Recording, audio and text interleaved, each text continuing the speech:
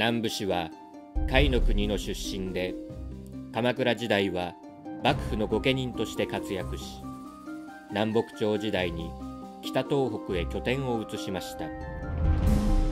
一族には三戸南部氏や根城南部氏のほか久慈市九戸市新田市などがあり協力と反発を繰り返しつつ主導権争いをしていました。戦国時代には三戸南部氏のもとに勢力を結集させ生き残りを果たしました。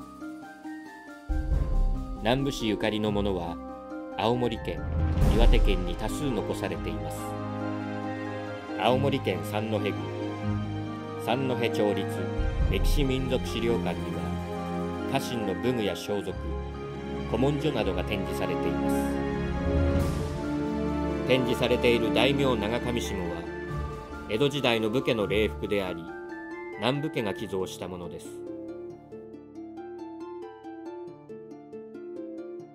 このほか気兼橋聖堂義母子が展示されています。12代南部正幸が栄進した和歌が天皇の御心にかない恩賞として樹脂の下に除された時にこの義母子で飾った橋を架けたとされています。岩手県盛岡市には岩手公園があり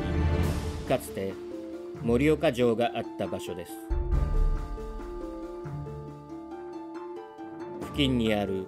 盛岡歴史文化館には三戸南部市が三戸から盛岡に拠点を移した後の時代に関わる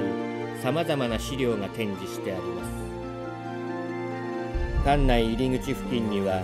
歴史年表などが展示してありその奥には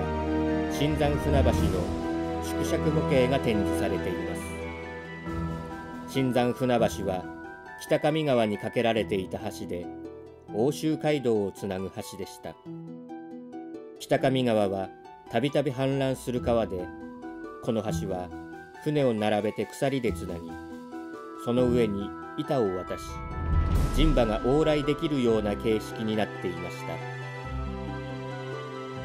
さらに奥へ進むと不動明王打ち出し五枚道具足をはじめとして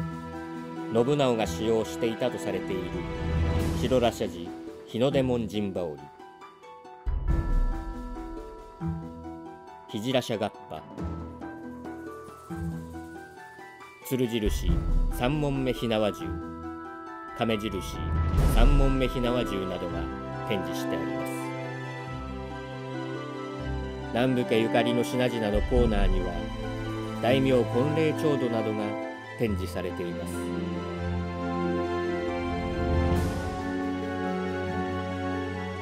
青森県岩手県内には南部家ゆかりの史跡も数多く残されており足跡をたどってみてはいかがでしょうか。